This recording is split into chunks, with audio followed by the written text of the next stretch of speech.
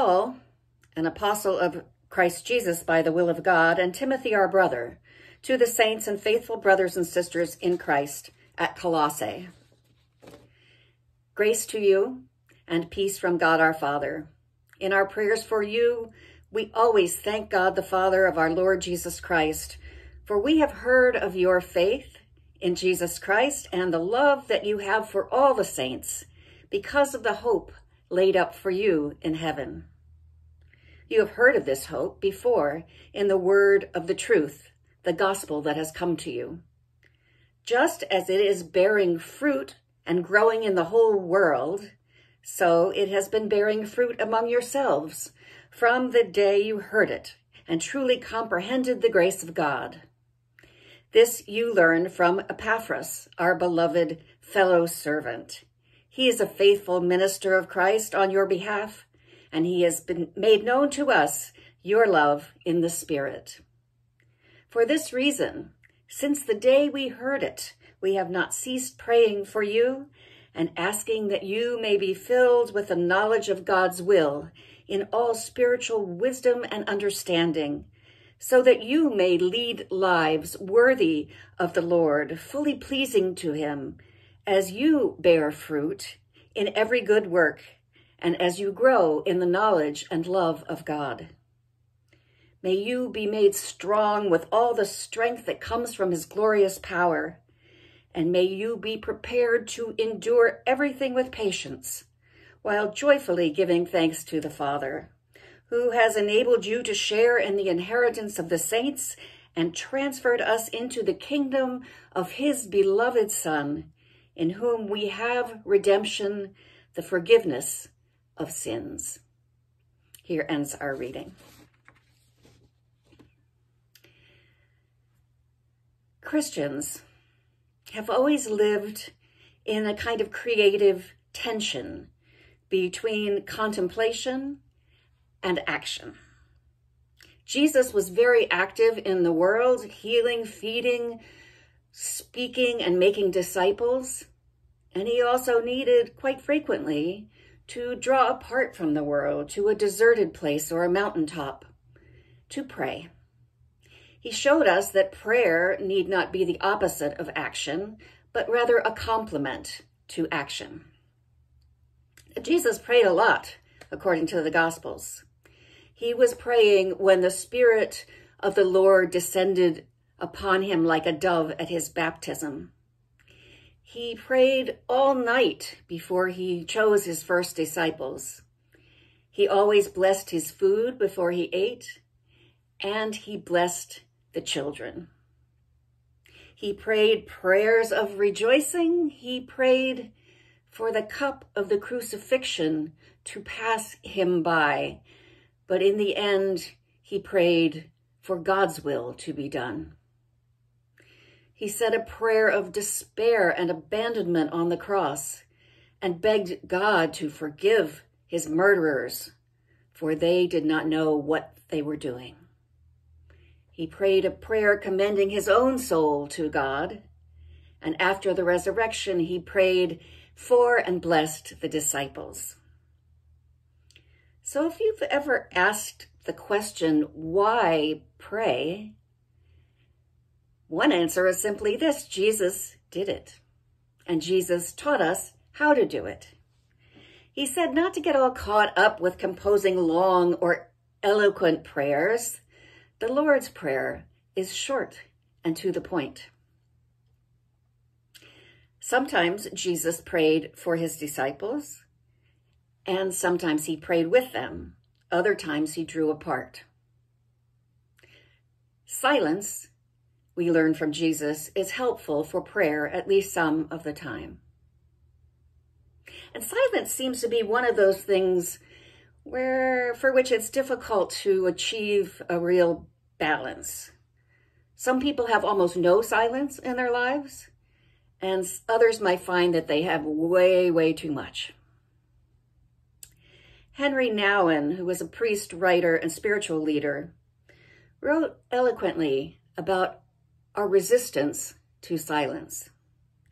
He said, we know there's some connection between prayer and silence, But if we think about silence in our lives, it seems that it isn't always peaceful. Sometimes silence can be frightening.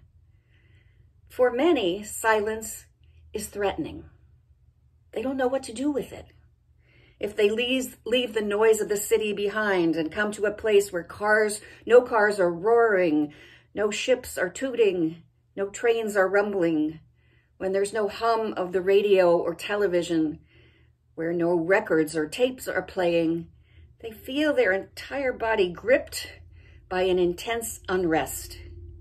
For many of us, he concludes, silence has become a real disturbance. So you might suspect from this reference to records and tapes that Nouwen wrote this some time ago. Actually, it was in 1972. How much more are Nouwen's observations relevant today when so many of our lives are subject to the constant music playing in our ears or the interruption of a ding, a swoosh, a ringtone, or some other sound indicating an incoming text, email, call, or notification. So if you would like to get more conversations going with God, try turning down the noise and getting a bit more okay with silence. You might have to work your way up to it. Start with just a few minutes. And just like when you begin a new exercise program, don't lambast yourself for what you can't do. Go for small steps, consistent over time. And in the silence, just say some words to God. That's it. That is the beginning of prayer. So some years ago, Larry and I were visiting Istanbul. And I was struck by the Islamic call to prayer, broadcast from mosques throughout the city five times a day. At dawn, at noon, mid-afternoon, dusk, and nightfall. And wouldn't it be nice, I thought, if Christians had a reminder five times a day to pray? Well, who says we can't? Whether it's a smartphone or an egg timer, why can't we build in reminders to pray during our days? Now, as Jesus showed us, not every prayer needs to be an all-nighter in a desert place. There are plenty of everyday prayers that can punctuate a life in all its activity and bustle. Only in this way can most of us do what Paul exerted the early Christians to do at Thessalonica and Colossae, pray without ceasing. May a meal remind us to say thanks to God and to the hands that grew, prepared, and served it. And paying attention to the world is a spiritual practice, as Larry Sasso's writing reminds us. We can get a spiritual connection to God who created all the earth and all its wonders. Taking a moment to see, truly see, a moth or a dog or a crescent moon is an entrance into the holy. Mary Oliver wrote this short poem called Praying. It doesn't have to be a blue iris. It could be weeds in a vacant lot or a few small stones. Just pay attention.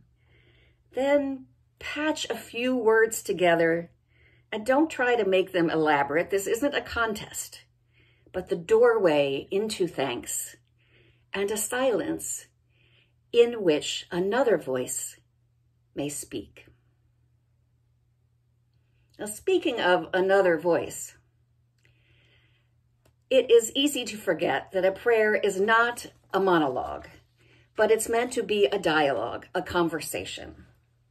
And that gets tricky because if we ever do get to a place of real silence, of calming our thoughts and being still, sometimes all we ever hear is, well, silence. We've seen so many movies in which God sounds like James Earl Jones, speaking clearly and resonantly, that we forget that God indeed sometimes speaks in mysterious ways and multiple ways. So how do we listen to God? What are some aids to hearing God's messages for us? Sometimes God actually does seem to speak to people in words and in no uncertain terms. But in life, and even in the Bible, that does not happen all that often. Most people, most of the time, need to use other forms of discernment to figure out God's will. Many of us make that discernment more complicated and difficult than it needs to be. If we don't hear God telling us to go into accounting or ministry or music, we think God has not spoken to us. But in the Bible, God has spoken many times about what God wants for and from us. God wants us to choose the good, to stay close to God, to love God and our neighbors around the world, to serve, to forgive, to work for peace and justice, to keep the Ten Commandments, and to live in faith, hope, and love, especially in love. God also speaks to us through the voice and voices of other people, trusted friends, even strangers, even very famous mystics like Teresa of Avila, the 16th century Spanish nun known for her very close relationship with and visions of God. Even Teresa sought help in discerning God's will from spiritual companions. That's one reason why many of us gather in congregations in addition to connecting with God on our own. Sometimes other hearts and hands and voices are conduits for God's communication to us. So prayer, scripture reading, conversations with others, those are all hearing aids. But even then, sometimes the message is not 100% clear. As one spiritual advisor told me, sometimes a prayer of God, what do you want me to do here, is met with a divine shrug of the shoulders. Sometimes maybe God just wants us to use the minds that God gave us to figure things out for ourselves. In the end, the Apostle Paul told the early Christians, you will know you are doing God's work when that work bears fruit. Just like a tree is clearly healthy when it has abundant fruit on it, so our lives are aligned with God when the results of our labors are good. The results of our labors are good. When people are fed and healed, when others are brought to a knowledge and love of God, where charity and love prevail, there God is ever found. When good is increased, then God's will is being done. Now, early Christians were encouraged to pray for one another, and I will pray for you, and I ask that you would pray for me. As the author of the letter to the Colossians put it, I have not ceased praying for you and asking that you be filled with the knowledge of God's will and all spiritual wisdom and understanding, so that you may lead lives worthy of the Lord, fully pleasing to him, as you bear fruit in every good work, and as you grow in the knowledge of God. May it be so. Amen.